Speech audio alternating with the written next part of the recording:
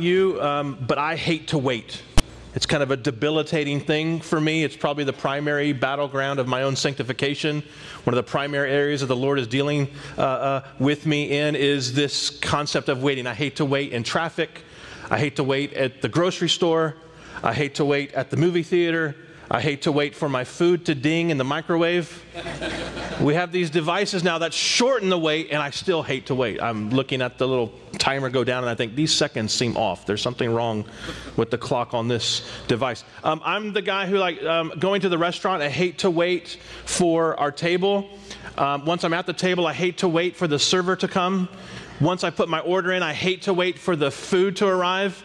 And then, if you can believe this, maybe if you're like me, after you're done eating, I hate to wait for the check. Anyone feel like that? It's like you're so eager to get in there and sit down, and then like you can't wait to leave. I just got to get out of this place. You were so eager to get in. That's me. I hate to wait to be in there, and then I hate to wait to leave.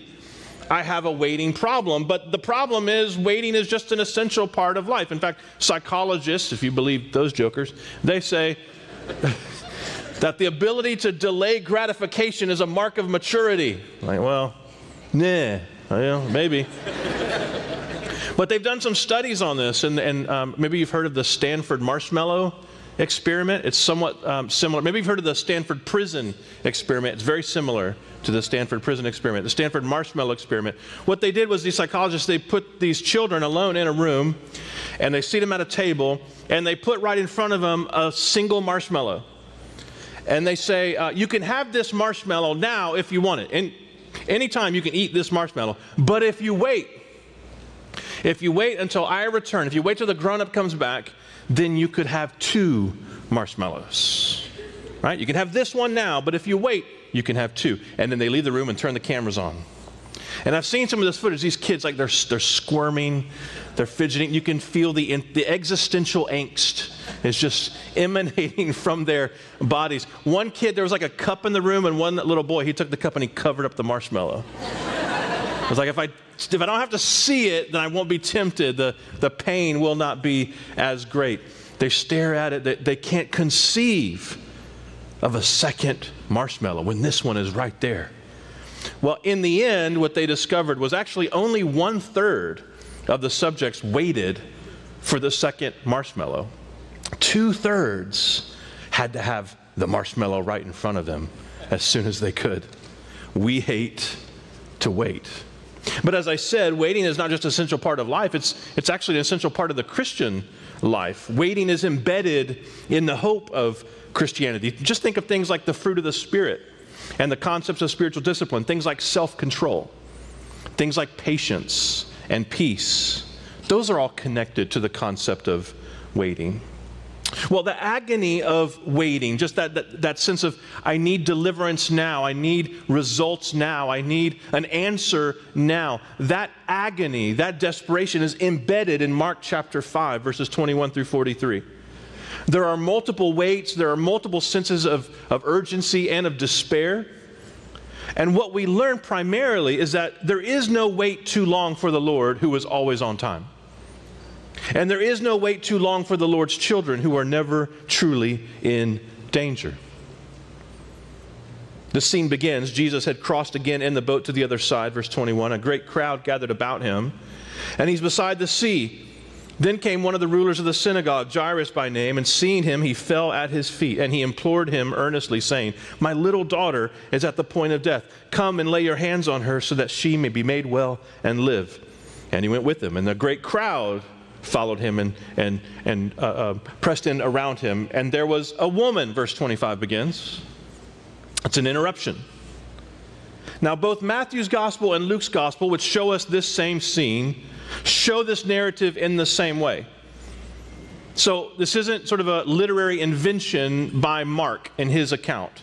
This is how it happened. There's an interruption in the middle. But there's something unique about Mark's account of this story.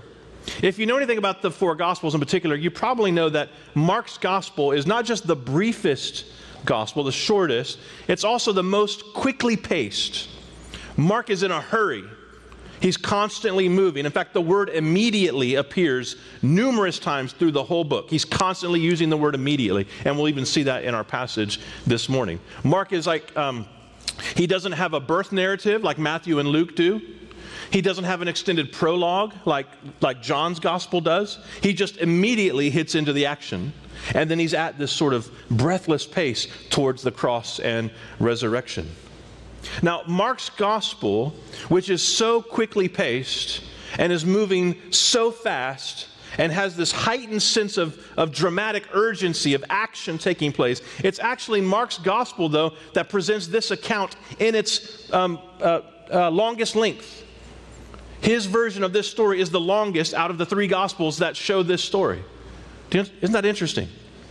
Why would Mark, who's always in a hurry, slow down to tell us this story? Well, I think it might be because Mark is trying to show us how Jesus would often slow down for an important event or for an event he deemed important, even if others would not. Jesus is, in fact, a, a master at the ministry of interruption. He's showing us what a lot of pastors have had to learn just by experience. We are tempted sometimes to see interruptions to our agenda as impediments to the ministry, when in fact the interruptions are the ministry. Now, this woman had had a discharge of blood for 12 years. 12 years she is suffering from this. Do you think maybe she was tired of waiting? Maybe she was tired of waiting year one. 12 years she's experienced this. Verse 26 tells us she had suffered much under many physicians, and she'd spent all her money, and she was no better, but rather grew worse.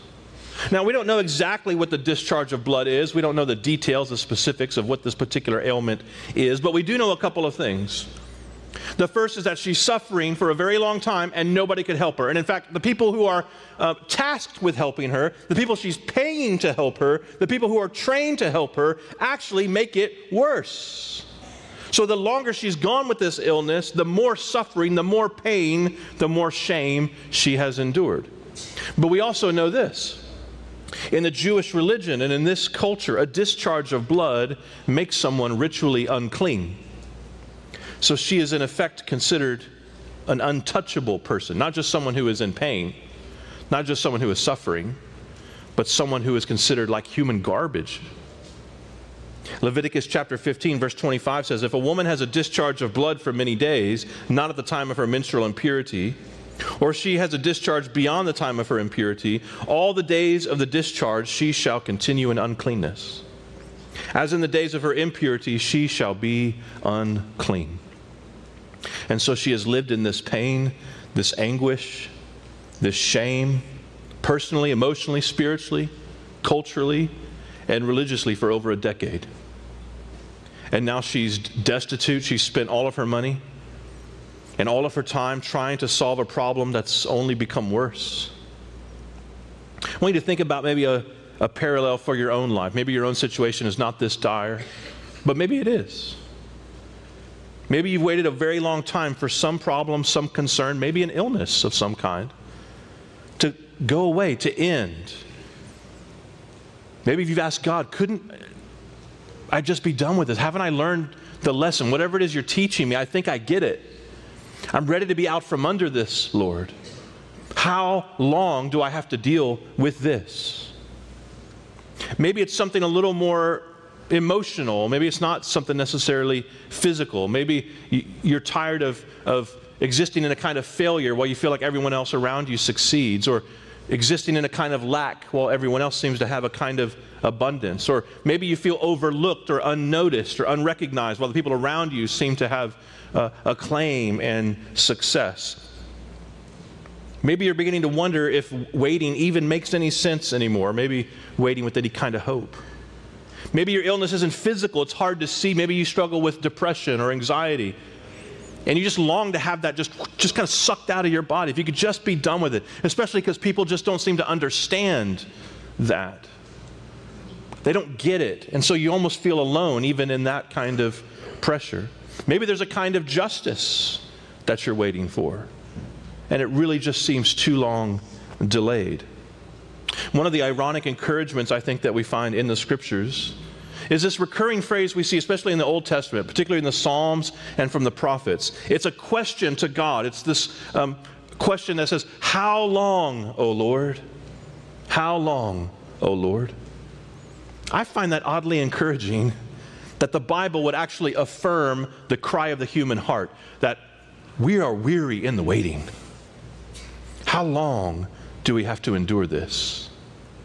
When will there be peace? Well, I don't know what your particular situation is or what your particular grief is, but here's what I do know. It's the first thing that we learn from this passage. You are not so hopeless that you'll be forgotten. You are not so hopeless that you'll be forgotten. Maybe you think Jesus only cares about the important people. Like theologically, I know you don't think that. Academically, I know you don't think that. But situationally, right, circumstantially, sometimes it feels that way, doesn't it? If only because maybe the people around us seem to act that way. They only care about the important people, the people who have something to offer. A Jairus is a ruler. He's an important man, and he comes to an important man and he addresses him directly. He comes straight to Jesus. But Jesus still makes time for this unclean, untouchable woman. Imagine if her 12 years of waiting had culminated in this encounter, only to see Jesus just kind of walk out of reach. Her last thread of hope now unravel. Or imagine, perhaps worse, she's come to Jesus for this healing and he turns and rebukes her. She's got to feel almost beyond hope by now. And she has likely mustered up every ounce of hope and faith that she's got just to make that reach. And she discovers that even she is not outside the scope of Christ's redemption. In fact, nobody really is, provided they want it from Him. And we see the same truth over and over again with who Jesus is spending time with. Jesus is prioritizing people in the margins, people on the outskirts of polite society, people outside the spectrum of acceptable decorum, the ones that you're not supposed to spend time with. Jesus is actually prioritizing. He, they're the ones he's most motivated to spend time with. We see it in the way he welcomes both women of ill repute and little children who have nothing to offer him. Brothers and sisters, when you tug on Jesus' garment, he doesn't sigh or roll his eyes. He loves to be pestered. Pester him. Matthew 19 30 says, But many who are first will be last, and the last will be first. But 12 years is a long time, isn't it? It's a long time. I think of the man by the pool of uh, Bethsaida. Do you remember that man? He was paralyzed. 38 years. 38 years. He laid by that pool, just dying to get into that water that would allegedly heal him, while people stepped over him for years to get their own healing. 38 years. And when the Lord shows up finally on that climactic day, John's gospel tells us instantly the man got well. There are no little people in the kingdom of God. I wonder if this woman felt the wait was worth it. 12 years. How long have you been waiting? Whatever it is that you're waiting for, whatever has come to mind the healing, deliverance, success, an answer, whatever it is, how long have you been wondering if, if, if the Lord cares? If He loves you, if somehow you maybe slipped through the cracks? Like maybe He's forgotten you. Maybe He's got more important things to do. Well, the God of the universe is omniscient, omnipotent, and omnipresent. And you might be at the end of your rope, but that is where most people discover that Jesus is more than enough. Maybe you've heard the uh, saying that when, when God closes a door, he opens a window. You ever heard that? It's not a Bible verse, by the way. and I suppose it's true that sometimes when God closes a door, he opens a window, but a lot of times when God closes a door, it's because he wants you inside when the building collapses. The real question is is Christ enough? Is Christ enough? And I'm here to tell you that you are not so hopeless that you'll be forgotten. The Lord sees, the Lord knows. Secondly, you're not so weak that you'll be forsaken. You're not so weak that you'll be forsaken. Verse 22 Jairus comes when he sees Jesus, he falls at his feet, which is interesting because earlier in the chapter, in verse 6, for instance, the, the scene before our scene, the demoniac does the same thing, falls down at the feet of Jesus. Falling down at the feet of Jesus seems to be an essential part of faith. And he implores him earnestly, verse 23, saying, My little daughter is at the point of death. Come and lay your hands on her so that she may be made well and live. He calls her my little daughter. Later, we learn that she's 12 years old. She's actually not very little anymore. And actually, in, in this culture, a 12 year old is practically considered a, a grown up. Like, they didn't have the concept of teenagers back then. A 12 year old is considered almost a grown up, a young woman. But if you're a dad, particularly a dad of daughters, she could be 43, right? And she's still your little girl. That's what's really happening here. It's a, a, term of endearment, my little daughter, that shows his affection for her. And it's echoed by Jesus later. There's a sense of urgency here. Jairus, as a ruler in the synagogue, he might be at the end of his rope. This might be his last hope. We could deduce that based on a couple of things. Number one, he's come at the point of death of his daughter, like she is very near death. Why wouldn't he come to Jesus sooner? So this must be his, his last hope, his last ditch effort. We could also assume that maybe based on Jesus' interactions with religious leaders. Jairus is a ruler of the synagogue. And he might be thinking, you know, I've seen the way Jesus talks to people like me. He seems to have his harshest words for religious leaders. Maybe he won't want to help me. Or maybe Jairus himself doesn't like Jesus. But for whatever reason, he realizes Jesus is his only hope in this moment. So he comes and he falls at Jesus' feet and he begs him and he's desperate. And then, as Jesus goes to help him, there's this interruption. This woman. Verse 27 she'd heard the reports about Jesus. And she came up behind him in the crowd and touched his garment. Matthew's gospel and Luke's gospel are actually more specific, is the fringe of his garment, the tassel on his garment. For she said, verse 28, If I touch even his garments, I will be made well. And immediately the flow of blood dried up, and she felt in her body that she was healed of her disease.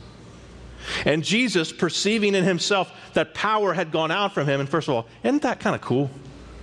It's kind of awesome. Like, whoa, I felt power coming out. I mean, I don't know how that works, but I just like I mean, it's just a dude thing. I don't know. It just seems cool. Like, wow. Yeah. Anyway. Power goes out of him. Immediately, he turns about in the crowd and he says, Who touched my garments? Now, this is interesting because it raises the question for me Does Jesus not know? Does he not know? This could be a, an instance of um, what we might call a divine self limitation. There are two wills in Jesus because he's fully God and fully man. We have a, maybe one other example of, of, of, such a thing in terms of knowledge where he says, even the Son does not know the day or the hour of, the, of his return. So maybe it's a divine self limitation. It could be that.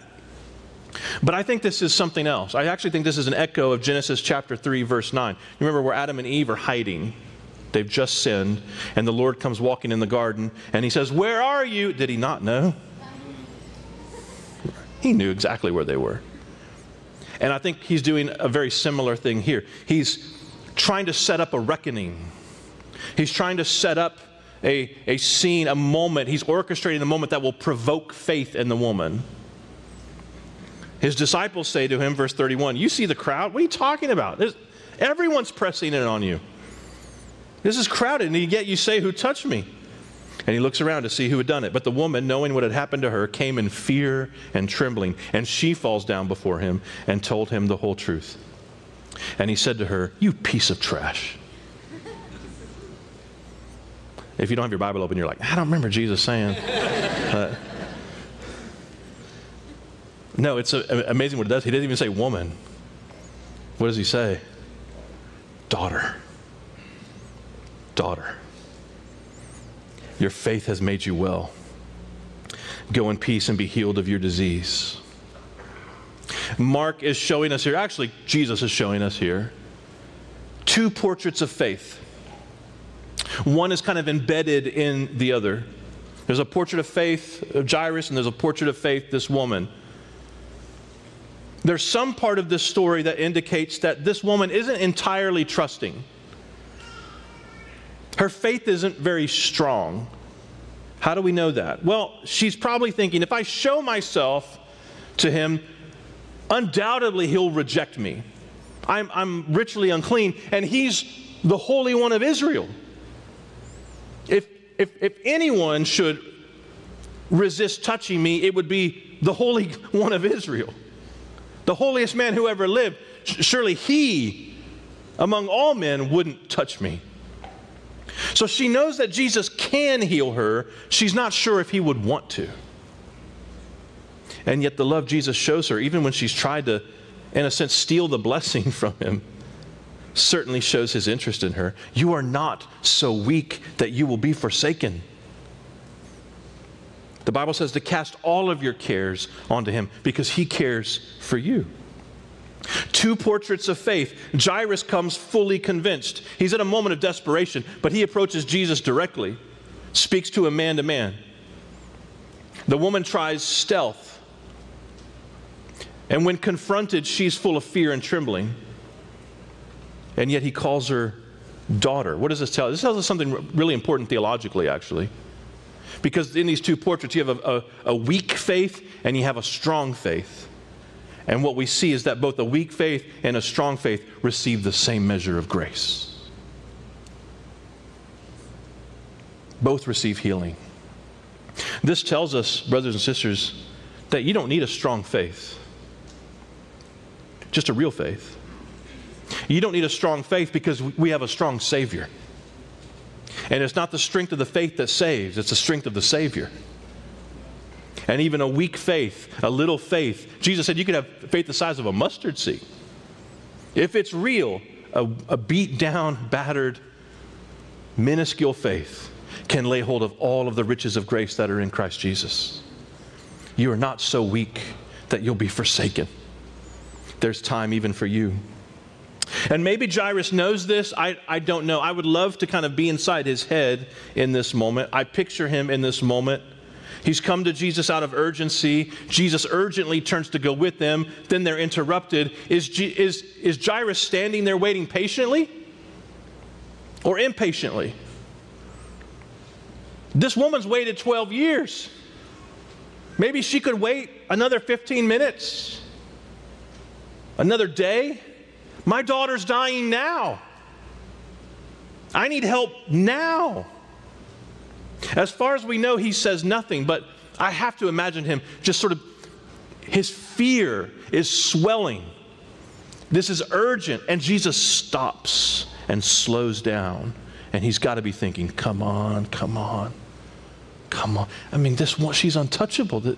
She's, uh, you're going to stop for her. All right, okay. Uh, just the anxiety, the desperation has got to be increasing. And then, and then his worst fears come true. While he was still speaking, verse 35, there came from the ruler's house some who said, Your daughter is dead. Why trouble the teacher any further? But overhearing what they said, Jesus said to the ruler of the synagogue, Do not fear, only believe. You know, that command don't be afraid, is the most frequent command in all of Scripture. It's the most commonly repeated command in all of Scripture. Not love God or love your neighbor. That's the most important command. It's a great commandment. But the most frequent command is don't be afraid. What does that tell us, do you think? I, I don't know what Jairus is thinking this whole time. He's issued no objection, but surely his anxiety is growing, and now what he feared could happen has happened, but Jesus has a word for that. Don't be afraid. When Christ is involved, the worst case scenario is never as bad as it seems. In fact, thirdly and finally, you are not so sick that you can't be healed. You are not so sick that you can't be healed. He allowed no one to follow him, verse 37, except Peter and James and John, the brother of James. And they came to the house of the ruler of the synagogue. And Jesus saw commotion, people weeping and wailing loudly. Matthew in his gospel tells us that the professional mourners have shown up, the flute players and all that sort of thing. In verse 39, when he entered, he said to them, Why are you making a commotion and weeping? The child is not dead, but sleeping. No, wait, what? No, Jesus, didn't you hear? She's dead. It's, it's too late. It's too late. Didn't you hear the news? It's too late. This is a reminder to us what happens next that we ought not to set our sights so low. Because despite what the world thinks, there are worse things than dying. Like the world thinks that the worst thing that can happen to you is to die. But that's not the worst thing that can happen to you. Dying's not the worst thing that can happen to you. Dying after you die is the worst thing that can happen to you. Because Jesus is Lord over life and death, the death of our bodies is no hindrance to Him. This is a concept lost sometimes even in the church, which has forgotten that the blessed hope is not simply going to heaven when we die, but receiving an imperishable body at the resurrection to come. Every resurrection, in fact, in the scriptures is a picture, a foreshadow of that moment when Christ returns and we who are dead in Christ will rise and have resurrection bodies to enjoy a new heavens and a new earth. If Christ's work is true, we have to radically reevaluate our conception of death. To be absent from the body is to be present with the Lord, yes. And if we are in Christ, there is nothing He will take from us that He will not give back to us in the age to come, a millionfold. You're going to say, believe it or not, I don't know how you feel right now, and you may be feeling like this is not worth it. In the end, weak faith or not, when you get there, you're going to say, it was worth it. It was worth it. For the faithful, this is comfort, but for the worldly, this is just complete foolishness. We are out of our minds to believe this stuff. They laughed at him, verse 40. They laughed at him, but he put them all outside. And I love that. I don't know how he did it, but I'm picturing Jesus just kicking and strong arming, grabbing guys by the coat and throwing them out the door. That's the Jesus I know. he put them all outside. And then he takes gently the child's father and mother by the hand and those who were with him, and he went in where the child was, and then he takes her by the hand, and he says to her, Talitha Kumi, which means little girl, I say to you, arise. Talitha Kumi, um, little girl. So Jesus is echoing here the father's affection. Talitha is a term of endearment. Literally, it just means little girl. That's the literal translation of it, little girl. But in this vernacular, and you know, the connotation then would be very much like today our words sweetie or honey. It's, it's a term of endearment. So, do you see what Jesus is doing here? The girl has died, but because he is Jesus the Lord, God incarnate in the flesh, sovereign over life and death, the head of all rule and authority, the Alpha and the Omega, the first and the last, the sustainer of the universe by just a word from his lips, he's treating her like it's time to get up and eat breakfast and get ready for school. Sweetie, it's time to get up. Verse 42 And immediately the girl got up and she began walking, for she's 12 years of age. And they were immediately overcome with amazement. Well, I should say so. My wife Becky and I have two daughters who are living. They, they are in uh, Pennsylvania away at college. But we have a, a third daughter, actually, was our second daughter between them who, who passed. Our second child, I, I remember the signs that something was wrong. Um, I remember going to the hospital. We were actually visiting family over the uh, July 4th holiday in Houston. And we found ourselves in this dark little room at the hospital with a technician with a little instrument scanning my wife's belly to look for signs of life inside.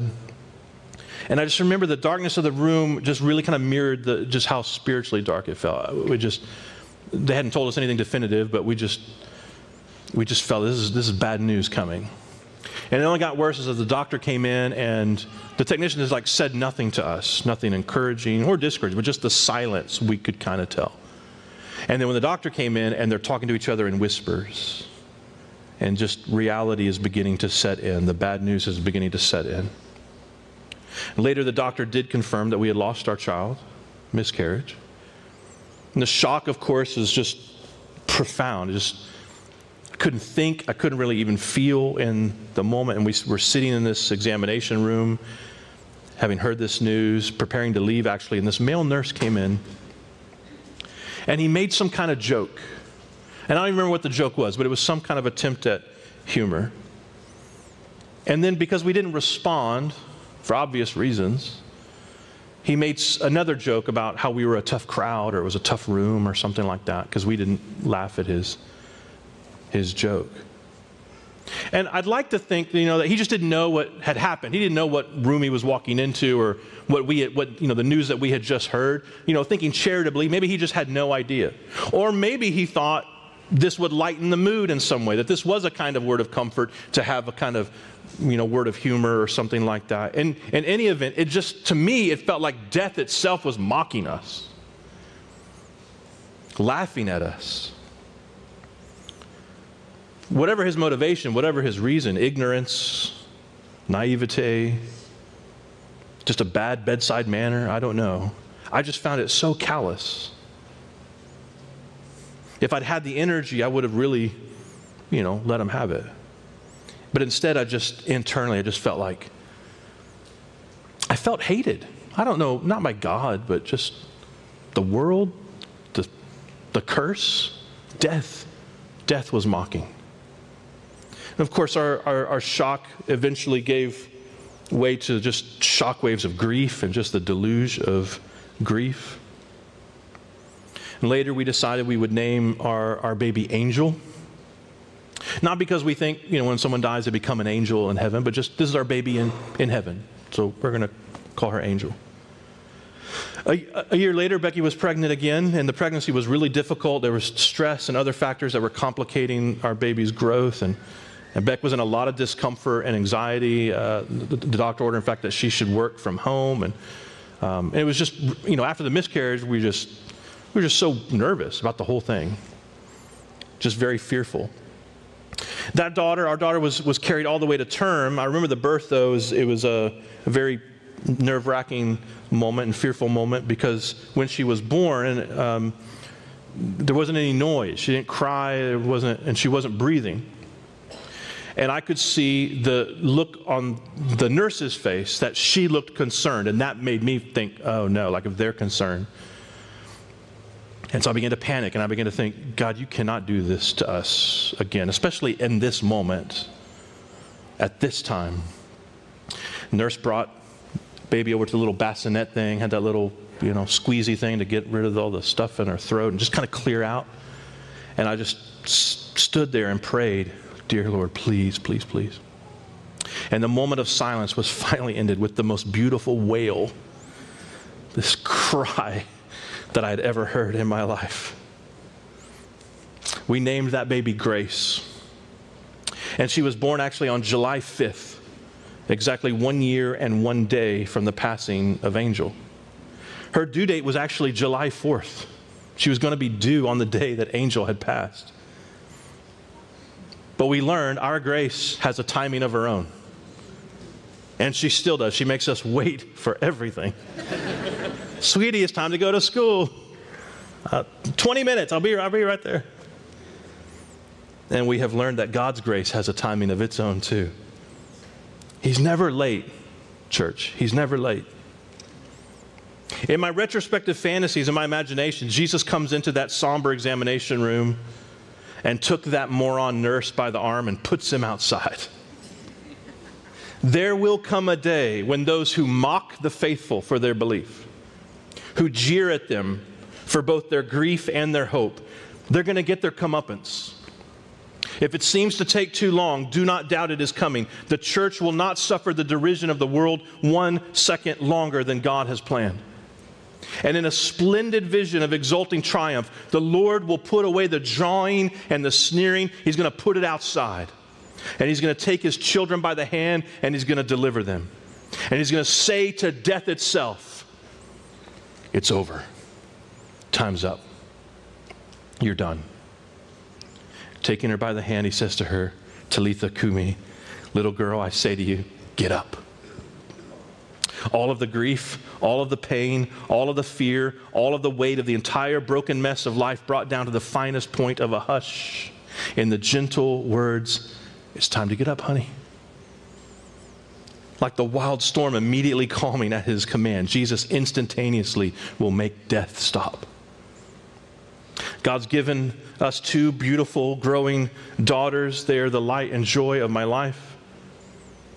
I like to picture Angel having a smile like her mom's, blue eyes like her mom's, a little thin wisp of a hand, maybe. And maybe Jesus will grant to me this sort of fantasy in, in our reunion that when my life on this earth is done, whenever that is, it could be today, it could be a long time from now, when I wake up to the wonder of His glorious might and His all consuming presence, perhaps He will grant me the privilege of angel being at my side, her hand holding mine, saying sweetly in a heavenly tongue, It's time to get up, Daddy. It's time to get up. Maybe your experience of the Christian life is one in which you don't feel fully embraced by Jesus. Maybe you think in some way he's obligated himself to you. For a long time in my Christian life, I just felt like I exploited some kind of loophole, right? Like God loves me, but he don't really like me. He loves me because he has to. Well, in a way that's true, but not in the way most people think. Look, he, he owes you nothing.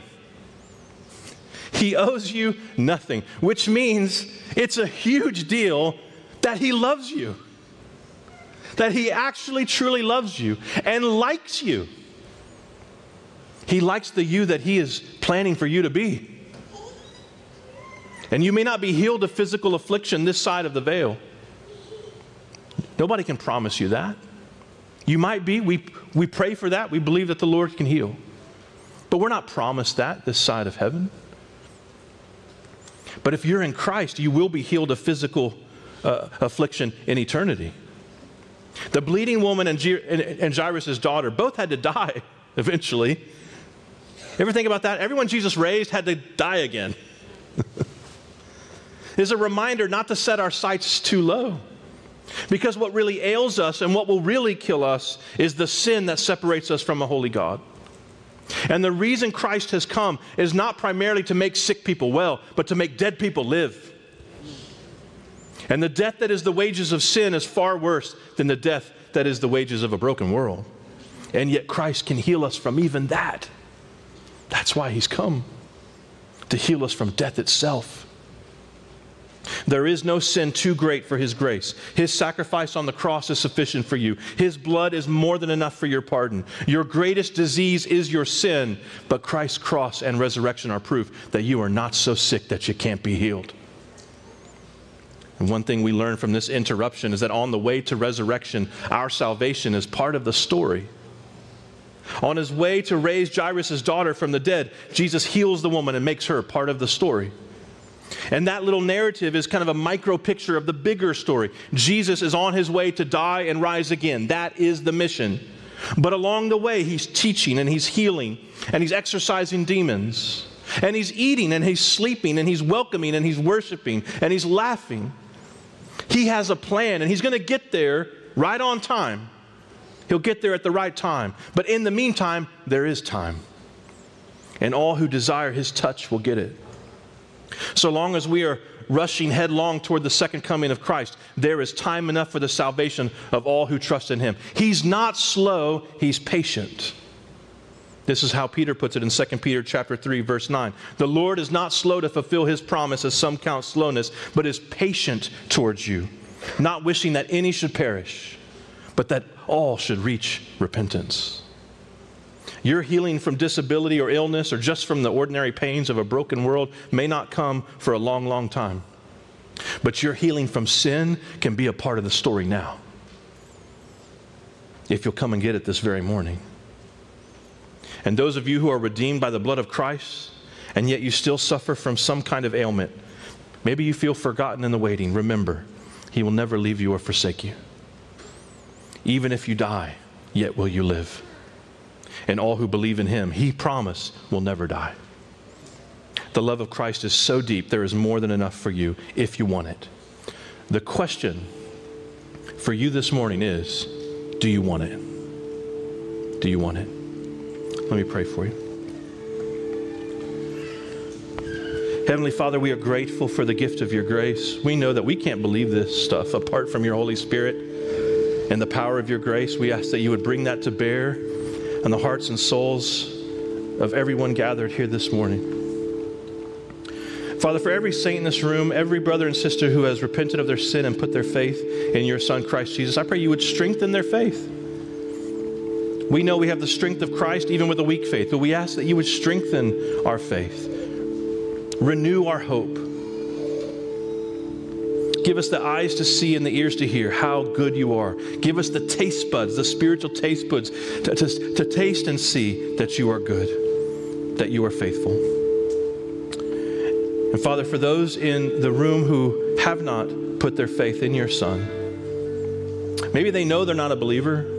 They're here for whatever reason. They're seeking, someone invited them, they're just checking things out.